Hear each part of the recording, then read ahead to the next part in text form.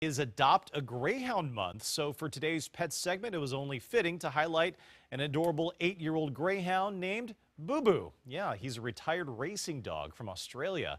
And now that he's slowed down a little bit, uh, not quite, but just a little bit, he's ready to find his forever home. Uh, he's just so affectionate. He's a he's a volunteer favorite because he just loves people, and he's just so leash. He's got great leash manners, and he just loves to be with people. Like he's just leaning on me now. So.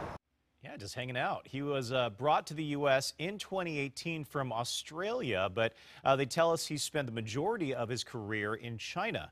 Now, his name derives from his racing name, which is Lucky Boo. But even after having a tough early part of his life, he's still ex still extremely sweet, well-tempered, uh, not really that slow. He's pretty quick. Uh, he would, however, do best in a home where he is the only pet and all eyes can be on him. So he definitely needs that attention.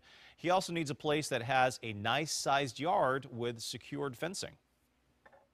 He loves to be with people. He loves his walks. He loves his car rides. And he loves to just, he's just so affectionate. So he loves to hang with his people. Yeah, his ideal day would be spending time around the house, real, uh, relaxing with his favorite human, and then going on for a nice long walk or, or run. he loves to get some exercise in and use those racing legs from time to time, as we've seen. He also loves to snuggle, take daily naps on the couch. Who doesn't? So if you think Bubu is the dog for you, you can head to GPI's website at www.greyhoundpetsinc.org. There it is on your screen. You can find all the information on there about the adoption process and the application too.